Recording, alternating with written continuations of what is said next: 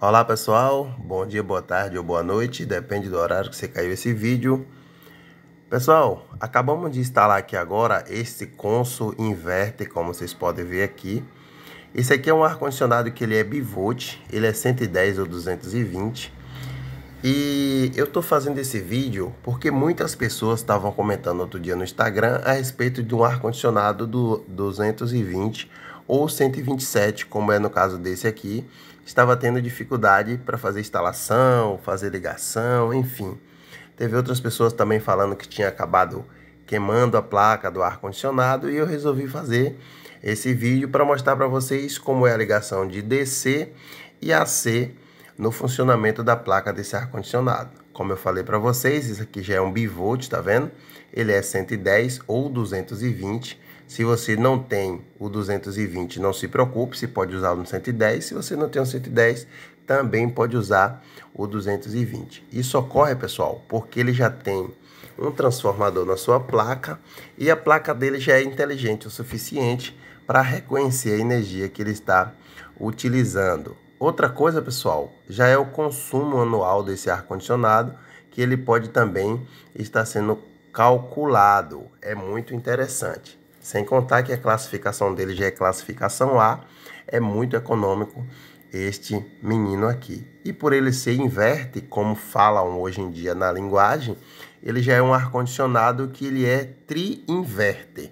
Tá, pessoal? Já tem o dual inverte da LG, enfim. Agora veio essa. Aqui, como vocês podem ver, está a borneira frontal, ou seja, a receptora da placa interna. Aqui, pessoal, a gente tem a parte do DC+, e do DC-, tá? E a gente também tem a parte do sinal, aonde a gente vai estar tá fazendo a comunicação com a segunda placa, que está lá na parte externa, que daqui a pouquinho eu vou estar tá passando para vocês. Pessoal, só uma dica, nunca, nunca mesmo tente fazer a alimentação dele aqui pela parte interna.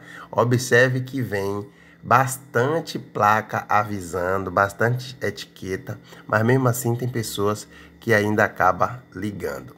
Agora eu vou lá para fora mostrar para vocês.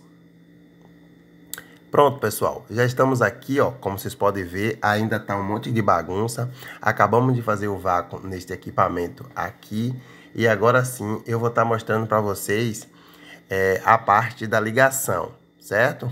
A, é, eu mostrei para vocês a borneira interna, agora eu estou mostrando aqui para vocês a borneira externa, ou seja, aonde fica a parte do AC, a alimentação, e aqui do lado a borneira com o DC, aonde a gente vai fazer a comunicação entre as placas. Não tem muito segredo, pessoal, é um ar-condicionado muito simples para poder estar tá instalando, tá? É, esse ar-condicionado é, a gente instalou ele aqui com mais ou menos 10 metros de infra, tá, pessoal? Porque ficou um pouco distante mesmo. Tivemos que passar por dentro de 3 quartos até chegar na parte final aqui. Aqui deixa eu mostrar para vocês rapidinho, ó. Como vocês podem ver, ele já tem a corrente 127, já tem a tensão 127 e já tem a tensão 220, tá, pessoal? Então aqui a gente tem a corrente de 11 amperes em um e de 6 amperes no outro, como vocês podem ver aqui.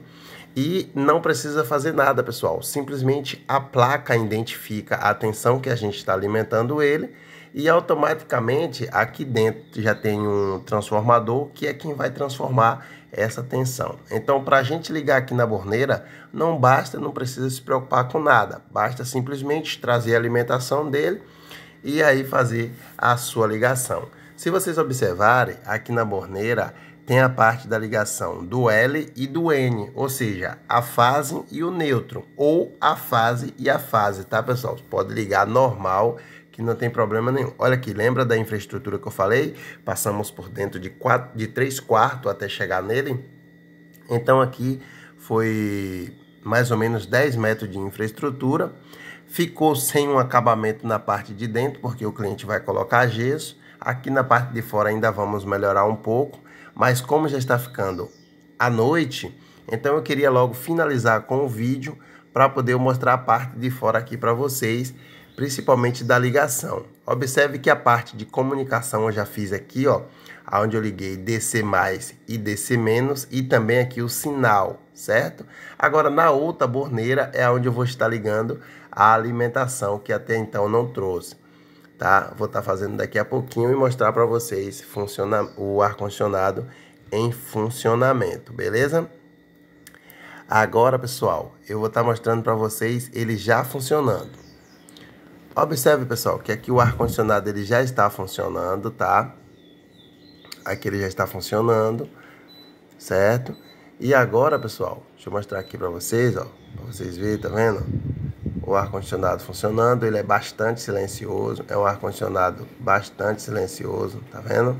Como vocês podem ver aqui, ó, Silencioso demais ele. O controle, pessoal, não tem muita coisa para mostrar, porque eu já tenho um vídeo aqui no canal falando desse controle. Mas observe que aqui o mais e o menos é para diminuir ou aumentar a temperatura, tá? Essa parte verdezinha aqui do controle é para ligar. Essa aqui onde está o meu dedo, pessoal, é a parte do swing, para ele ficar abrindo descendo aquela aletazinha. Aqui também ele tem um super turbo, tem um super sono, tá, pessoal? Esse sono bom aqui é muito bom para quando você vai dormir. Enfim, tem algumas funções aqui do controle.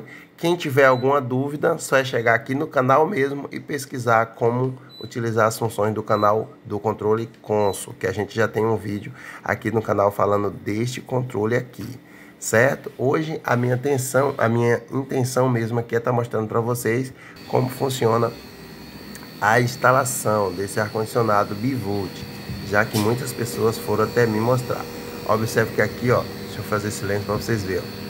O ar-condicionado já está alimentado. Passei a alimentação aqui por fora mesmo, como eu já falei para vocês. Só para vocês verem o ar-condicionado funcionando.